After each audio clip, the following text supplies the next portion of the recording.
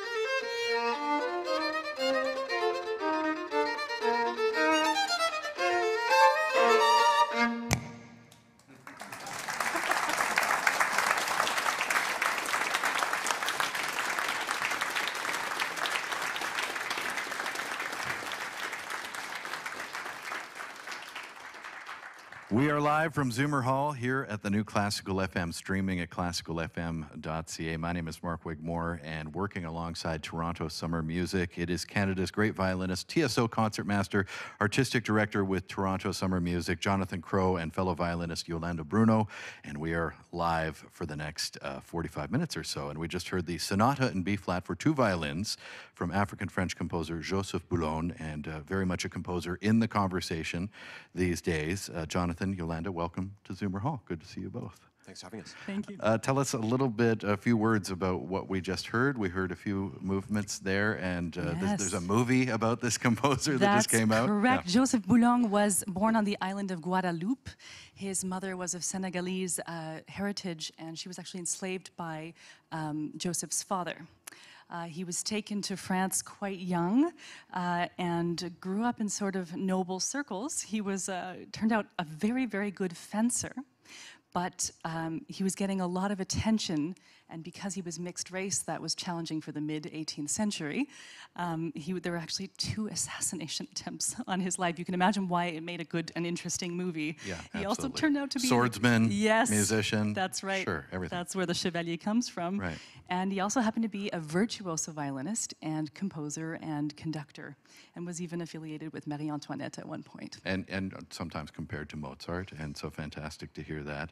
Um, Jonathan, it just feels like Toronto Summer Music is really back in 2023, just a sparkling roster, an all star guest list this year, and your theme, Metamorphosis. So just pull back the curtain a little and, and tell us about how you put this season together. Yeah, of course. So, um, the theme itself, metamorphosis, can mean many different things. And one of the ideas is like how the pandemic has transformed the way artists interact sure. with audiences. Um, and a lot of the artists that you'll see are people that I saw a lot online during the pandemic. Artists that used Instagram, that used videos, that kind of communicated with everybody in the digital fashion. It's nice to bring them back to the concert hall. And then, of course, we have some of our old faithfuls. You know, we've got the Angela Hewitt, Sondra Radvanovsky, people that their touring was really interrupted by the last few years, and it's nice to see them back on the great stages making fantastic music for people again. Great show, Richard Hamelin as well. And uh, we're going to hear from British composer Judith Weir next. Living composer, which is always nice. Uh, Yolanda, a few words about what we're about to hear. Yes, she's originally from Scotland. She was actually the master of the Queen's music. Uh, in 2014, she became the first woman in, I think, its 400 year history history to take on that role. And um, she's written this piece called Atlantic Drift. Essentially, it is the relationship between music that crosses the ocean. And I, am thinking of drifting a lot right now with the Atlantic with with the winds that are coming in and the smoke. So it's quite it's quite related to what we're doing today. Uh, absolutely, Jonathan Yolanda. Let's listen live from Zoomer Hall, Atlantic Drift from British composer Judith Weir here on the new Classical FM.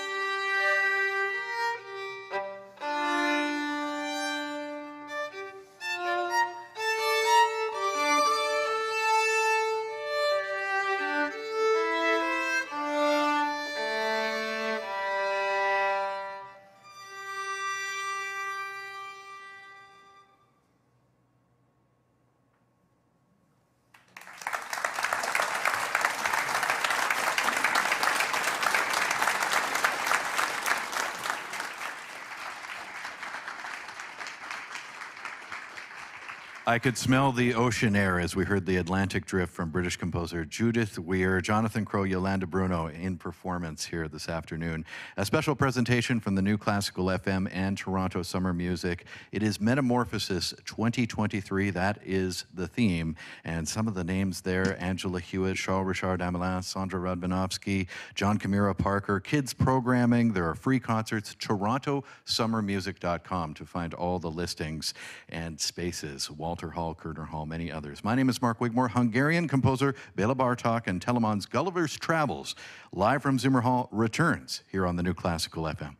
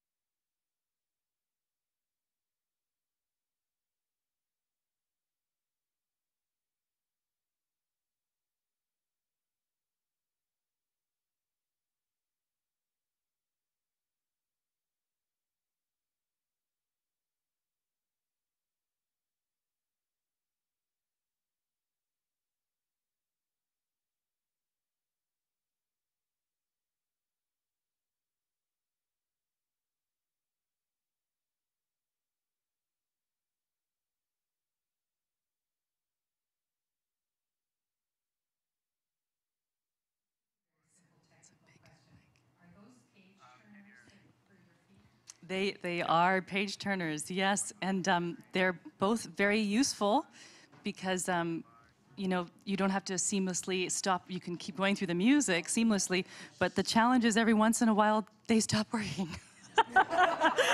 and then you lose all trust, which happened last year in the middle of a great concert, but that it happens. Yeah.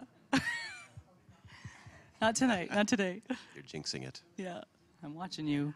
How old were each of you when you started to play? Oh, that's a good question. I was six when I started to play. I wanted to play the cello, but we had a very small car, and I have an older brother and an older sister, and we had a, Volkswagen Rabbit at the time, and we couldn't fit a cello. so I play the violin now, and I really enjoy it. Nice. And I was five and um, chose the violin. My mom is a violin teacher, and I asked to start around age five. Yeah.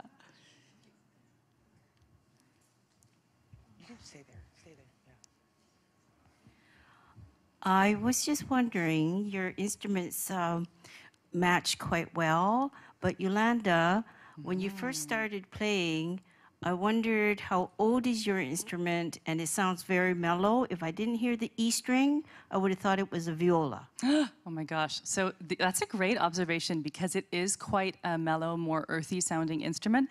They're both Italian violins made in the same century, probably within decades. This is 1737, made in Venice. Your instrument might be around And mine is 1742, made in Cremona.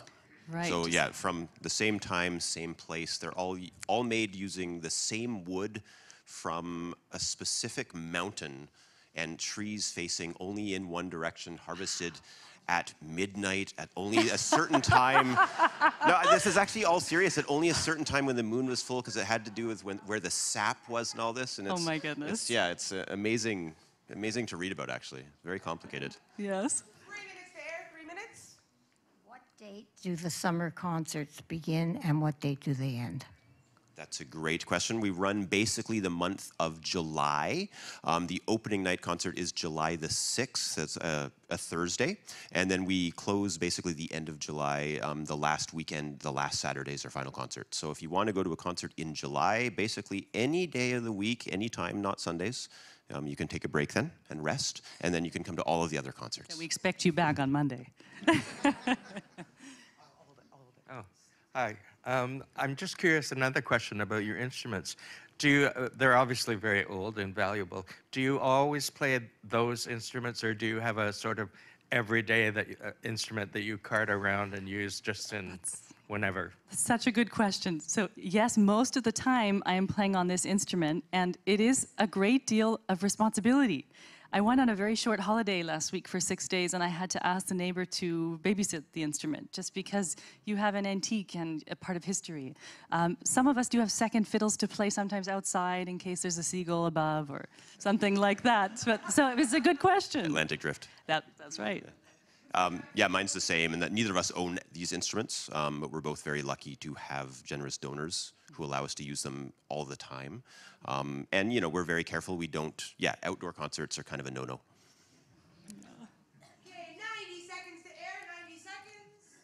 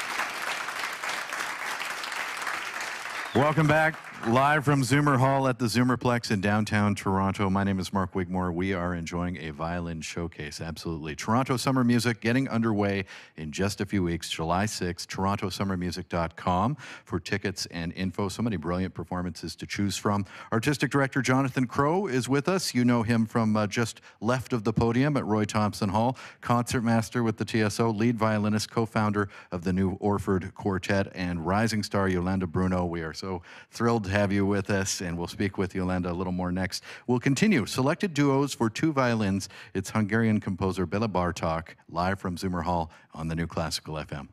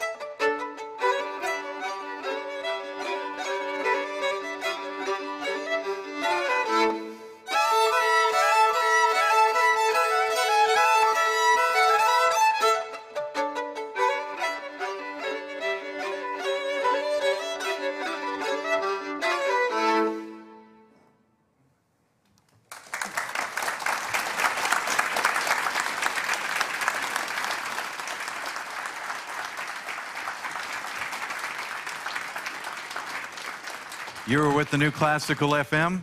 Here we are live from Zoomer Hall and uh, working alongside Toronto Summer Music. My name is Mark Wigmore. It is Canada's great violinist, TSO concertmaster, Toronto Summer Music artistic director Jonathan Crow, and a wonderful talent in Yolanda Bruno together. And we are live, which is exciting. You can watch at classicalfm.ca as well. So we just heard selected duos for two violins, Hungarian composer Bela Bartok. I was just in Budapest, Hungary, and uh, some scrappy folk music there. Uh, tell us a little bit about what we just heard.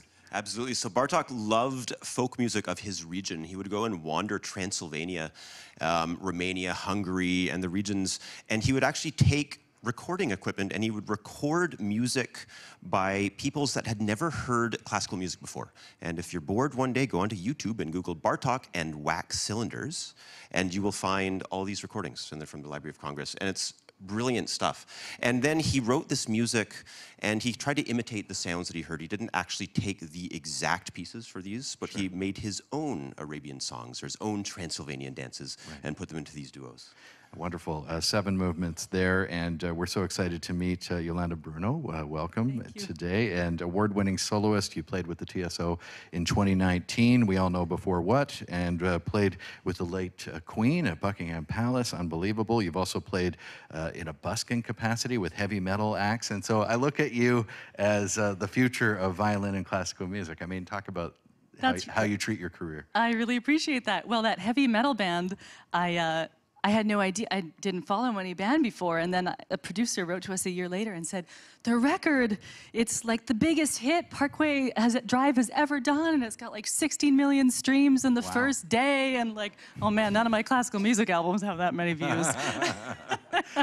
and, and, and this is, you, you like to try different things, obviously. Yeah, yeah. I mean, I think that music, music is a, a, healing mechanism for the soul. So if music can be shared in any context, here or outside, at a train station, in a hospital, in a subway, it doesn't really matter where. Um, if I can bring the violin and somebody is willing to have me, I'll be there. You've been a part of Toronto Summer Music in years past and different capacities. I know there's a mentorship program, a community program, and that's and that's right. been helpful. I would that's, imagine. Yeah, absolutely. So I first uh, was at Toronto Summer Music Festival in 2011, and I was there as a student, and it was part of this side-by-side mentorship program, and it was the first time I played next to a pro. And that was a game changer, playing next to a professional and being pushed and realizing, oh, this is what it, this is what I'm going into. Like, this is the field.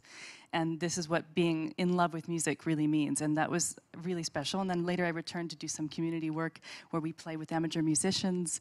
And um, I love that because they re uh, inspire you to fall in love with music again. You realize how special that is. Community outreach through Toronto Summer Music, chamber music, choir, piano. Uh, we've got Gulliver's Travels and the suite here from Telemann. I think we'll hear a little more about it in a few moments. Uh, written just two years after uh, Jonathan Swift published his book, Live from Zoomer Hall, Gulliver's Travel Suite. It is the music of Telemann on the new Classical FM.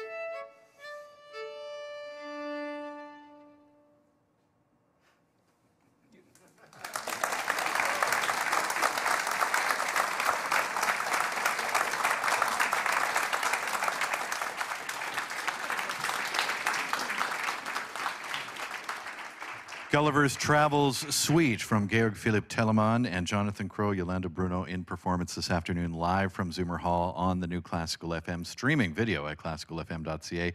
Uh, Jonathan, a quick word about what we just heard because I didn't know a lot about this piece. Yeah.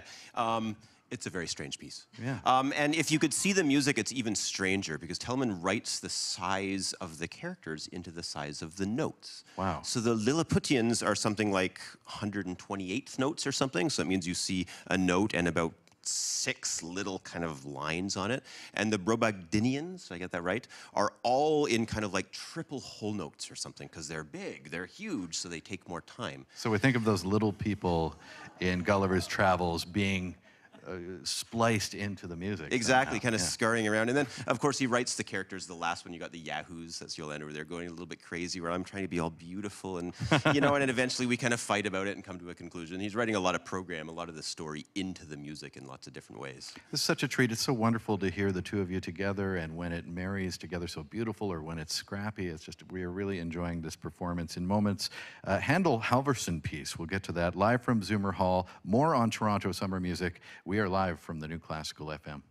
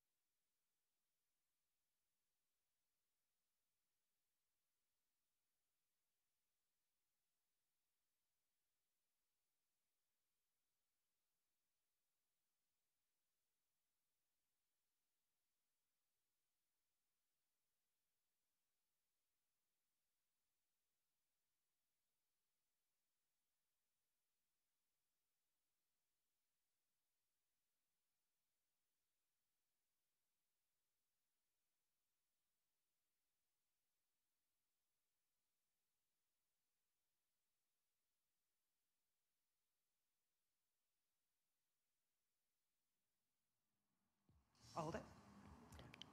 Hi, I know you're both professionals for many years.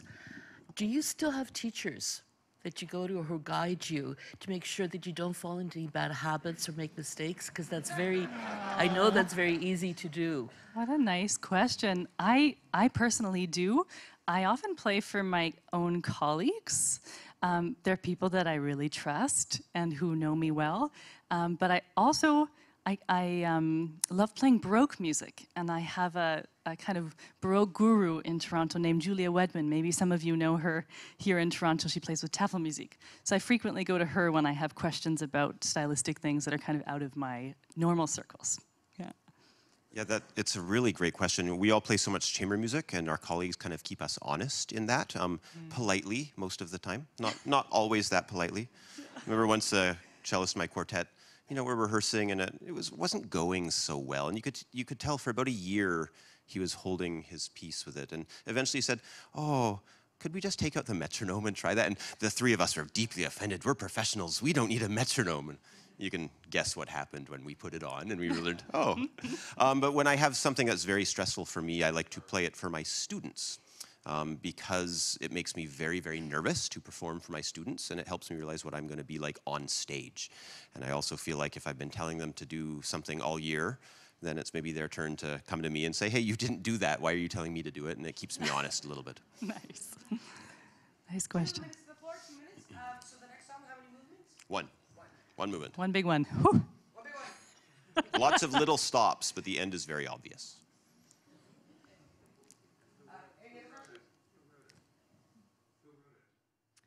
Handel, arranged by a Norwegian guy named Halvorsen. And then rearranged by Heifetz Oh yeah, then for your rearranged by Heifetz for two violins. Two violins, So lots yeah. of arrangements going on. Yeah. 90 seconds to the floor, 90 seconds. Any more questions? Great. You guys can take a second.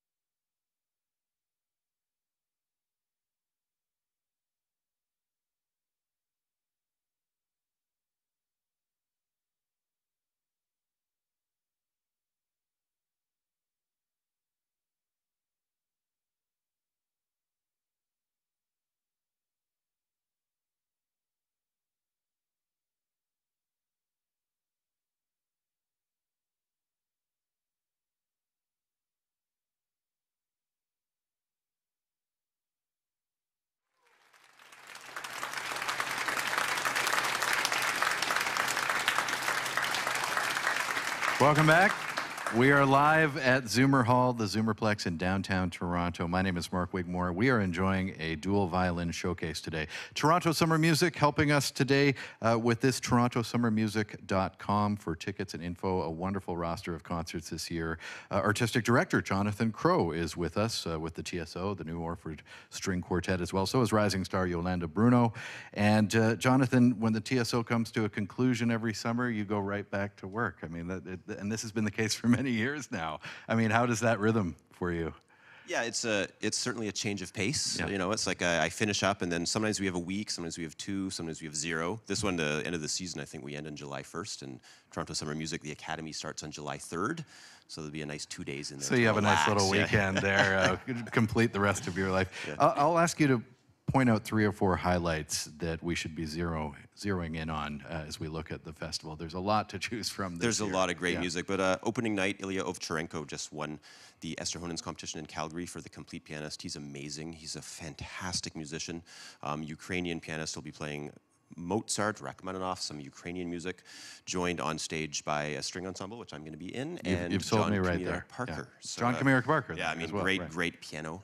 Ana María Martínez um, is a huge star in the world of opera, but for us, she's going to be doing uh, an art song program, um, all Spanish language, so it's right in her wheelhouse, and I'm really excited about that. It's in Walter Hall, so the acoustics are amazing, and just being close, close to a person who would normally be very, very far away on stage or on a TV screen. I'll point out too Walter Hall and Koerner Hall, uh, some of your venues this That's year. That's right, yeah. Any anything else? And then the Isidore Quartet, who just won the Banff International String Quartet competition, coming doing an amazing program, including late Beethoven, which is one of my favorites, and I can't wait to hear them. All right, we are so excited. Uh, Yolanda Bruno, how's the rest of 2023 looking for you? Well, I'm going to take a little time off in July. I feel bad for Jonathan, but I do have a nice concert with uh, some music by Marjan Mozetich, a Canadian composer. Uh, I'll play the solo for Affairs uh, for the Heart, and in Stratford. I don't want to tell you the date because it's in July, and you should be here in Toronto. But you know, just know that it's in the It's- background yes. there. Unless it's on a Sunday. All right, it might be on a Sunday. We have a finale. What are we going to hear? Uh, we're going to hear Passacaglia by uh, Handel Halvorsen. All right, lovely. It has been so great to be with the two of you. We are live from Zoomer Hall. It's Jonathan Crow. It is Yolanda Bruno here on the New Classical FM.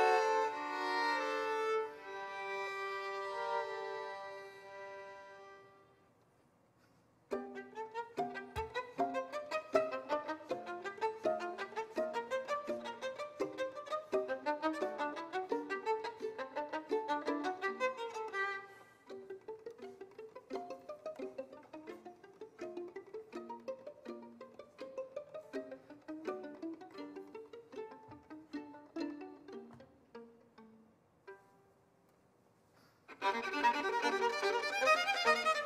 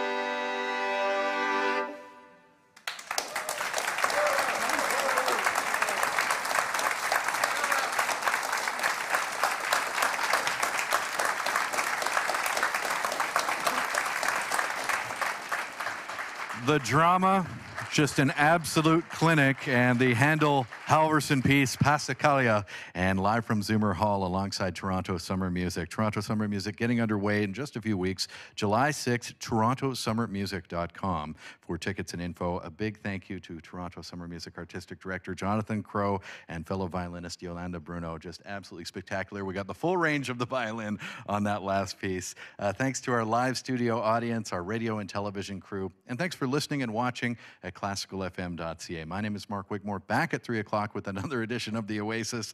We'll look forward to seeing you again live from Zoomer Hall.